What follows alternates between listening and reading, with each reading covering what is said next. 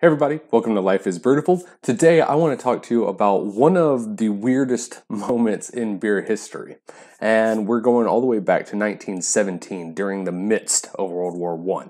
Throughout World War I, the waterways of Europe had been extremely treacherous, lots of naval battles, plus a lot of merchant ships being attacked as well. It was pretty much unsafe for anyone on the waterways. However, the people of the United Kingdom still had a strong demand for their beer. And one of the most popular beers throughout the entire UK was Guinness. So the hardworking, dedicated employees of Guinness knew that they had to get their product to mainland England to be able to keep people's spirits high, to keep their customers happy, and that was just kind of their part, provide a little, you know, liquid relief from all the tensions of the war. And Guinness in no way was going to let their customers down. In fact, they actually prided themselves in their ability to continue to maintain production and distribution of their product despite all their hardships throughout the globe. Additionally, Guinness often considered their brewing and their product a bit of a religious act. You know, they uh, saw themselves brewing beer for God,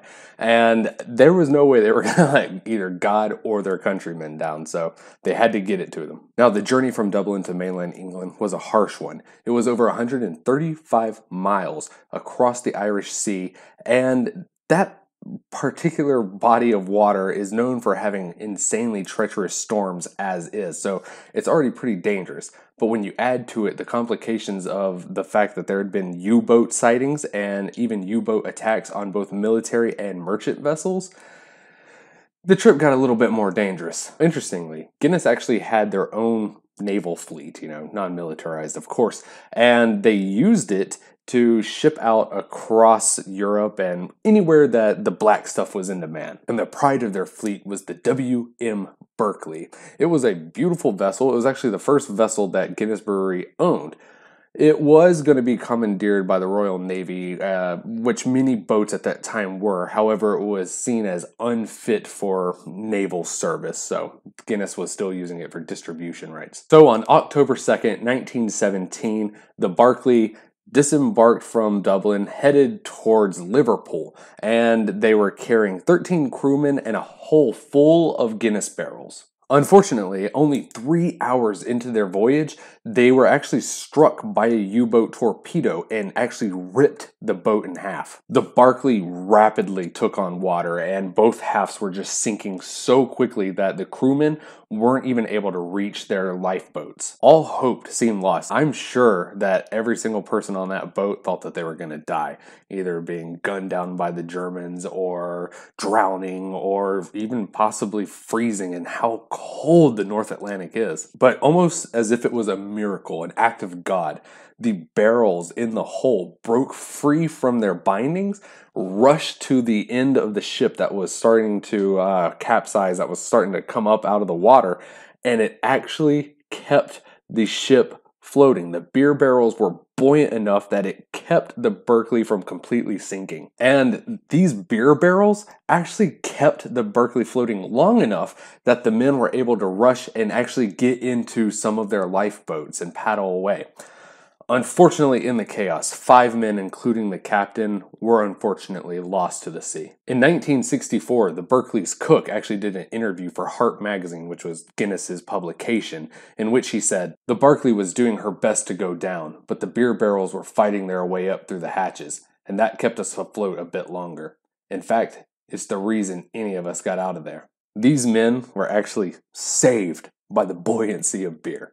That's pretty cool. Unfortunately, the hardship for the sailors and their long, long night was nowhere near an end. The few lifeboats that were able to get away were immediately captured by the U boat that had sank their ship, and the German officers forced them into interrogation for many, many hours, asking if they were smuggling weapons, if they were uh, working in any type of militarized ca- uh, capacity, if they were doing anything to help the British and Irish governments. And once the German commander was satisfied that he was able to identify who the ship was, who the crew were, and what their purpose was, he marked the Barkley off of his kill list. It's weird that the Guinness distribution ship would be on a German kill list. But I guess if you're doing non lethal targeting, you know, I guess uh, that would be a pretty significant hit to the morale.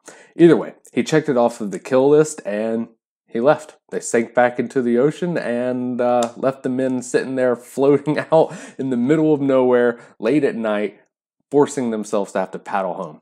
The crew paddled all night, constantly shouting out into the distance, hoping somebody would hear them. They didn't have any flares, they didn't have any signals. It was just them, the darkness, the open sea.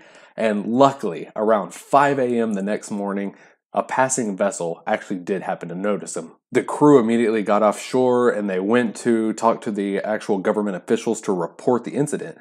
Unfortunately, the torpedo incident was so common in this particular region that the men actually had to wait hours before if somebody was able to get in and talk to actual government officials just to document it. That's crazy that this was happening so frequently that there was a line, a queue. Growing frustrated by how long they were being forced to wait, a lot of the crew actually just kind of left, went to the nearest Guinness pub, and just started drinking.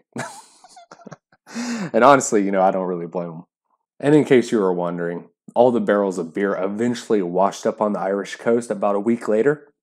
And Guinness actually took it and they distributed some back out into the public and they served a lot to the actual townspeople. So, pretty interesting story. And that concludes the unfortunate and interesting story of the Guinness naval fleet being sunk by U boats and how beer was able to save people.